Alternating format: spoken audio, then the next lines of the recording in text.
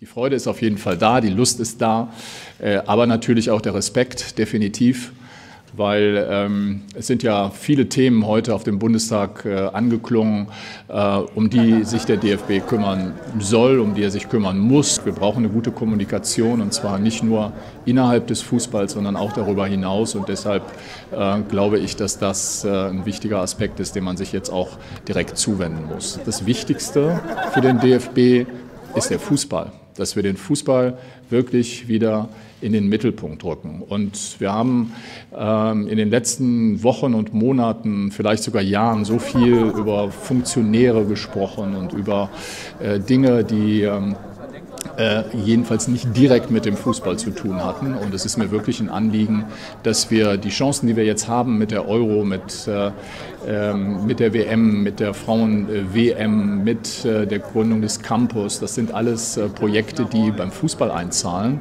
Und das müssen sie auch.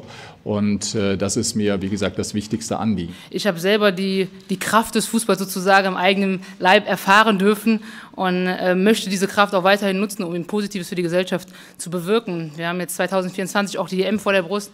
Und ich glaube, wir müssen dieses Turnier auch als eine ähm, Chance begreifen, als Impuls und Motor sehen, eben das Gemeinwohl zu stärken, die großen Themen dieser Zeit, Nachhaltigkeit, Diversität, Teilhabe, Integration, einfach gemeinsam anzugehen. Und ähm, ich freue mich, dabei sein zu dürfen.